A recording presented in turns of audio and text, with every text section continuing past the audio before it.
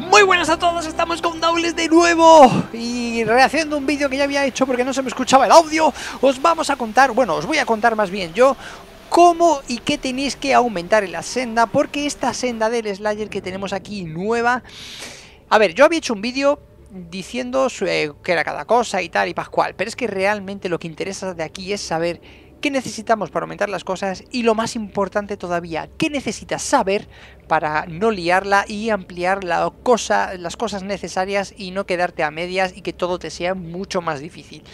Dirás tú, hombre, pero si, a ver, son cuatro cosas y tal, bueno, son cuatro, son 16.000 cosas que hay aquí y ojito con todo esto, ¿vale? Porque hay muchísimas cosas y vamos a ver os voy a decir exactamente lo que tenéis que subir, ¿vale? Y qué os interesa subir para que eh, podéis gastar vuestros puntos bien con cabeza porque cuesta mucho farmearlos. Dirás, ¿de qué puntos me estás hablando? Bueno, pues te lo comento. Aquí ya sabéis que para aumentar eh, todos estos nodos que tenemos por todos los lados, necesitamos tres cosas. En primer lugar, rams, ¿vale? Estos rams se consiguen pues eh, con cacerías, bueno, estos rams.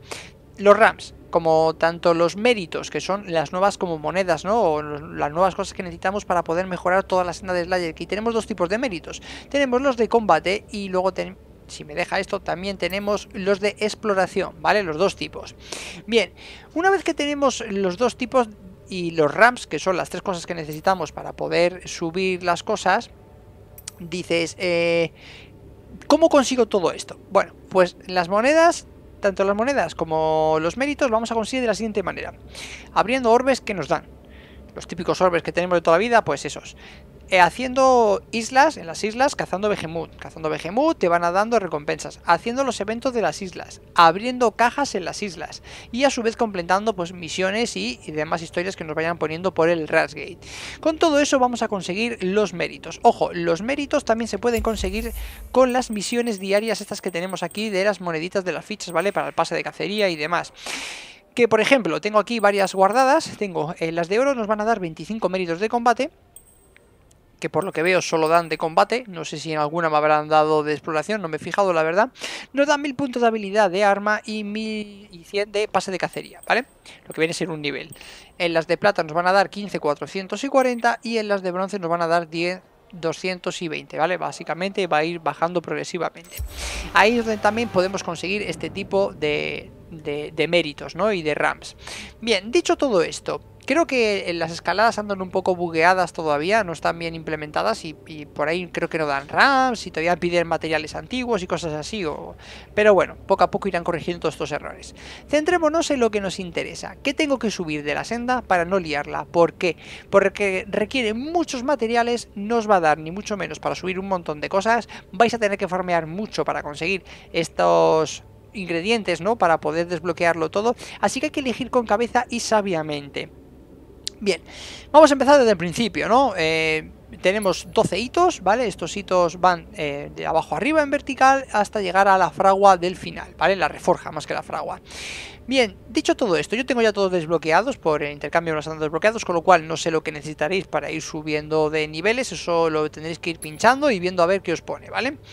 Vamos a ir a la primera zona importante en las que tenéis que centrar el tema del arma a elegir. Ya sabéis que las armas se pueden aumentar un par de veces en, en Wheels, ¿vale? vais a Wheels, como siempre, aumentabais antes el arma, pues ahora las aumentáis ahí un par de veces como máximo, no podéis hacerlo más. Luego a su vez tenéis el tema del reforjado que os lo he explicado en un vídeo anterior y a su vez nos podemos venir a la senda donde podemos aumentar también su poder de esta manera, ¿vale?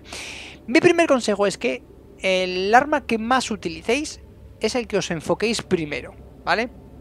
Sé que a lo mejor eh, tenéis eh, enfocado el tema de los golpeadores para las para las trías, ¿no? Para, para, los retos y luego pues a lo mejor usáis más otro arma para ir por las cacerías y según el, bicho que el behemoth que queréis cazar. Bueno, pues ahora os recomiendo que os centréis solo en una, en una como mucho en dos, es decir, en los golpeadores por si os gusta hacer las movidas estas de los retos y luego en otra porque os guste utilizarla y básicamente es porque nos va a dar para todo, ¿vale? Nos va a dar para todo, con lo cual enfocaros primero en una. ¿Por qué en estas sendas? Porque en estas sendas nos van a aumentar hasta 15 puntos el poder de las armas, ¿vale? Una vez que aumentéis esto, esto es permanente, ¿vale? Aunque hagáis reforjado, esto es permanente, con lo cual está muy bien. Y luego os va a aumentar dos puntos la probabilidad de crítico. Esta zona sería una de las principales a tener en cuenta. Luego nos tenemos que venir a las armaduras, ¿vale? Esto de las armaduras viene muy bien porque lo que nos van a hacer según qué tipo de armadura vayas mejorando, nos va a ir mejorando tanto lo que viene a ser el aumento del aguante, la regeneración de ese propio aguante, la cantidad de vida máxima que vamos a poder llegar a tener y la curación de cualquier tipo. ¿Qué es esto de curación de cualquier tipo? La curación de cualquier tipo es la curación que vamos a recibir tanto por los las rajas estas de Aether que podemos absorber para que nos den vida, tanto usando glacial, vale importantísimo el tema glacial, porque ya sabéis que ahora como podéis enfrentaros a muchos Behemoth, tenéis la opción de llevar una build con glacial para despreocuparos un poco de todo y entonces ir absorbiendo más vida con, con este aumento, ¿no? Que sabes, es un 5% al final al cabo lo que te aumenta, que quieras que no se tiene que notar, ¿vale? Y luego, pues, eh, si no lleváis eh, glacial y evidentemente cuando os carguéis un Behemoth vais a tener la fuente de Aether para poder recuperaros de vida, pues bueno, siempre que os cure un poquito más, viene muy bien, ¿vale? Luego seguiremos subiendo, bueno, el tema de, las pociones, lo que te va a mejorar es el, que al crearlas te pueda crear dos en vez de una a la vez, el que mejore su eficiencia, el que dure más tiempo y cosas así, ¿vale? Con lo cual esto, eh, ¿ves? Dura 25% más el efecto del tónico, la capacidad de llevar más tónicos y el desbloquear la cantidad de tónicos. Yo no soy muy de usar tónicos, la verdad, los que hacéis retos y demás sí, en este aspecto sí, porque bueno, pues según el tónico que sea, pues te influye más de utilizarlo o no. Pero yo me enfocaría en primer lugar en el tema de las armas, para aumentarles el poder y hacer mucho más daño. Después me enfocaría en el tema de las habilidades de las armas. Estas habilidades ya sabéis que antes se desbloqueaban conforme ganabais maestría con ese arma, pues se os iban desbloqueando. Bueno, pues ahora las tenéis aquí para desbloquearlas y bueno, como veis, son 400 méritos de combate cosa que no está mal, y 30k de, de, oro, que antiguamente yo he empezado con casi 100k de oro y ahora tengo 438.000, con lo cual imaginaos todo lo que he gastado. Después llegaríamos, bueno, a las linternas. Las linternas evidentemente siempre viene bien tenerlas desbloqueadas y usarlas, es una cosa que, que tiene que estar ahí siempre. Yo suelo usar a lo mejor un par, que es la del Drax y la del Embermain, y no suelo usar mucho más, pero bueno, eso ya es un poco a gustos.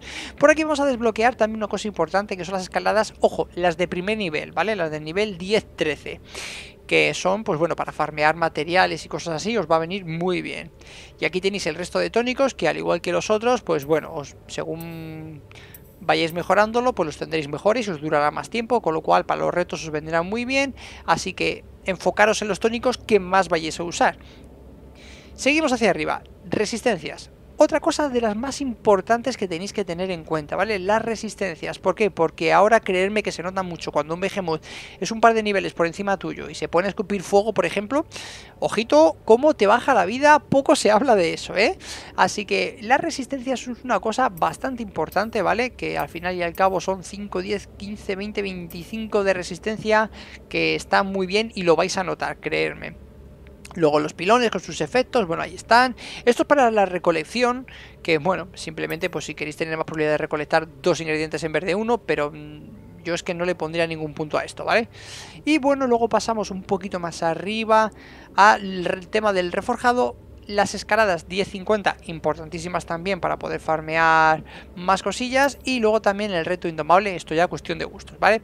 Lleguéis al reforjado y en el reforjado, pues bueno, si si os interesa el tema de reforjar el arma, porque ya habéis visto el vídeo anterior, ya os he dicho un poco lo que opino y demás, y, es un poco a gustos, pues bueno, pues le dedicáis aquí tiempo al reforjado, pero realmente, más que ahí vamos a gastar, lo que vamos a gastar es en esto de aquí, vamos a gastar en esto de aquí en caso de que lo uséis, aquí importante para desbloquear algunas habilidades, yo recomiendo siempre, ¿vale? Pequeños tips, es decir, ¿qué uso yo? Yo uso hojas encadenadas al 90%, ¿vale? Y luego después pues uso uno, golpeadores, otra cosa, una pica, me da por cambiar de vez en cuando, pero el 99% de las veces o el 90% uso eh, hojas encadenadas. Centrados en hojas encadenadas, subirlo a tope, ¿por qué? Porque, por ejemplo, el primero subes 5 de daño, ¿no? Eh, esto es poder, esto es probabilidad de crítico, ¿vale? Probabilidad de crítico te va a subir dos puntos, no te va a subir mucho. dices, vale, pero me va a subir 5, 10 y 15 en un futuro, ¿vale? Claro, que me piden 1600 méritos de combate. Que estamos teniendo en cuenta de que yo me meto, eh, me hago un Behemoth, me dan 3, me dan 3. Abro un cofre, me dan, ponle 5 eh, me cargo otro Behemoth, me dan 3, así hasta llegar a 1600 es un rato largo. Así que pensaros muy bien en qué os gastáis todos. Aquí tenemos los planeadores, eh, no hace falta que desbloqueéis los tres. Yo lo hice por bueno ya lo tengo todo y luego me arrepentí porque me hubiese gustado poner más énfasis en estas cosas que no en las otras para que os explico todo esto para que no os pase lo que a mí y yo creo que queda bastante claro no en qué tenéis que enfocaros primero en mejorar las armas sus habilidades aumentar de poder crítico y si acaso enfocaros en lo que viene a ser en las armaduras también vale para aumentar vuestra vida, vuestra resistencia, la regeneración, lo que os curáis en caso de usar glaciar. Y los tónicos, pues bueno, el de cura evidentemente viene muy bien porque te vas a curar mucho más. Y yo creo que hasta aquí puedo puedo deciros, o sea, enfocaros de verdad en un arma solo, una vez que lo tengáis bien hecho, salvo que os guste jugar for fun y digas, bueno, pues yo ahora juego un ratito este, un ratito aquello, sin prisa, entonces no tenéis problema. Si queréis llegar a un nivel alto con, un arma y demás, enfocaros solo en una, una vez que tengáis esa ya a tope, pues ya os vais enfocando en otras distintas. Y si no, creedme que hay muchas cosas para subir, se necesitan muchas cosas, y es bastante complicado, ¿vale? Así que espero que os haya gustado, eh, la senda del slide es muy importante de verdad y que gastéis los puntos con cabeza para que os sea mucho más fácil la vida en Daules. Así que espero que os haya gustado y nos vemos con más. Adiós, chao, chao.